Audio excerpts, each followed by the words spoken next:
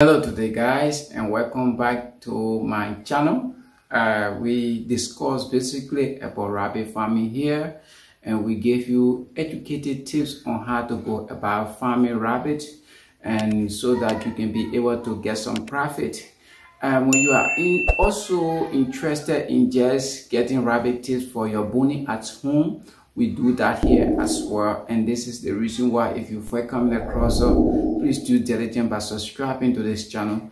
Don't forget to hit the notification icon so that you'll be notified whenever we come up with new video on this channel.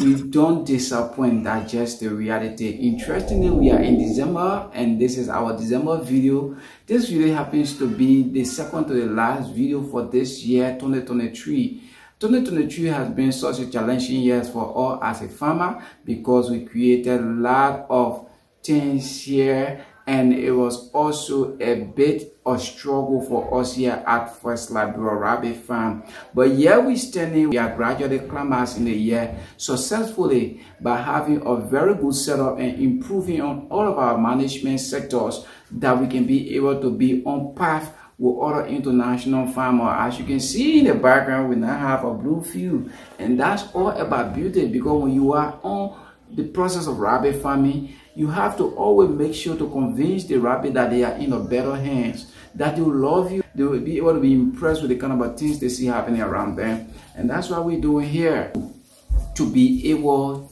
to have the rabbit kids in a very safe position. The reason for which I came up with this video, I experienced of horrific scene last night.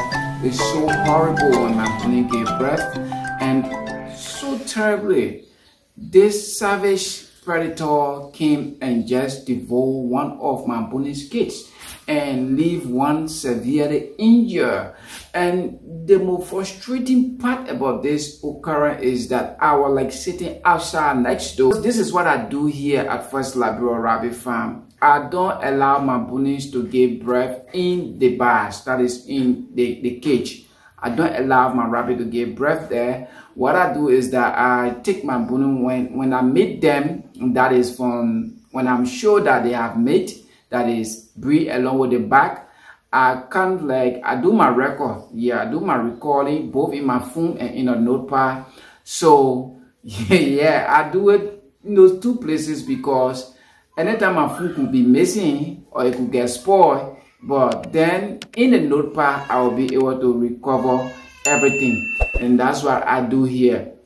And so when the bunny gave birth, uh, the case, they were full kids she gave birth to. And uh, I, yesterday morning, yeah, so what I did, I said, okay, fine. Now I'm to look at this whole thing. So I'm not really to, I'm to go to job where I'm just to, you know, put in on the skills that I have an emergency back home and I got to really work on it. I think you can see from the illustration here in this video I lost my bunnies to a savage predator when I was sitting right to the door outside contemplating whether my bunny would sleep along with the kids or find a best area for them. The reason for which I like to share my experience to other farmers out there it is because somebody just have to pay the price. This can be so heartbreaking, honestly, to see your bunnies just go down the drain and uh, you spend like good 30 days waiting to see success and now it did happens and watching it to just go in that kind of a horrific form and manner is something that is so heartbreaking in the era of rabbit farming. And that's why you see here i always like to put measure in place to make sure that when I experience some disaster at my at my rabbit here, it gave me a clear insight to, you know, set another line that I can be able to work on and make sure that what happened negatively should not repeat itself. So the next thing I want to tell you is that the young Bunny case got so many predators that can attack them. And one of the predators that can always attack young bunny kids is the savage predator that took the life of this man bunny. The lawnmower rat. I don't know the lawnmower rat is very very fast moving when your bunny gave birth. So that's why I did this video. So apart from the lawnmower rat, cat. Cat can also be on a very swift move when you have bunnies that you are raising them. Do not allow cat to be around them. Even though they are not friendly, but I'm working tirelessly uh, trying to bring out some footage in the future where I will see cat and a rabbit going along right here at First Liberia Rabbit Farm. Because the reason for which I want to do that, I want to really know whether cat and rabbit will really go along like what I can see on Amazon videos. But cat and rabbit, they can really spark. In fact, it can jump on it straight for prey. And that's why I like to tell you, my people out there that are involved into the process, do not make it your hobby to expose your bunnies to cat. Not to talk about the young bunny kids to cat.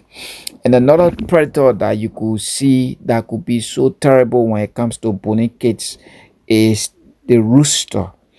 The single hit of the rooster pigot on the baby bunnies, that is the bunny kids, they will surely die because the force from that pigot is very, very strong enough. And these are things that you have to take into consideration when you are farming rabbit because if you don't protect the babies, you might not be talking about profit or you might even be giving up because you'll be looking at your energy going in the way that you don't really want it to be. But here you are you don't have no control because some kind of thing is just coming overnight to take away your high-end energy and time. Not only you but also the bunny that took that kids in a bed for good 30 days before giving birth so it can be so heartbreaking. It can be so so devastating for me sometimes it can be really hard for me to handle it. And there's a point my little daughter can like kind of just look at me and say ah what do you just tie your face for now? But baby don't you know that i lost one of my bunny kids? And uh and this is something that is very very terrible because i need them. I need them. People out there in the world needs them. So they should not die mysteriously. They should be able to survive okay? In fact it's the essence for which we are in we are here. Then we watching it to die. So sometimes she just like kind of gave me the courage. She said but i mistake man you know women women always have swift move to to find a, a resting point. And that's what my little daughter always do around here. In fact she's helping as well. She's doing immensely. She's doing great. Along with my little boy promise they are here helping me up into this process so guys if you first coming across us this is the first liberia rabbit farm. We discuss basically here about rabbit farming. We give you educative and informative tip about rabbit farming what you need to do to your rabbit when once you engage into the area of rabbit farming. Rest assured that it has already gave you a basic meaning of life just the truth. Rabbi gave you the basic meaning of life. The basic meaning of life is to always be busy, is to always create business. And that's why I like to tell some people that God purpose for our life is to do business. Rabbi make me to do that. Rabbi make me to say this because if you are into the process, you can see the kind of enjoyment it takes waking up from bed every morning to go have an encounter with adorable pets Oh, what a blessing. That is that is something that can really make my heart to be so so cool. Very early in the morning, five o'clock when I'm on my bed, on my smartphone, glancing at those cute looking ponies. And once I take my shower, boom, I'm bouncing to encounter them live animal. Live animal. And one of the unique thing about this venture also I can eat the rabbit for meat. And I can use their waste for my gardening. And this is something that is so so beneficiary to farmers so guys when you are into the process of rabbit farming i don't see you struggling for certain certain things when you are into the field of agriculture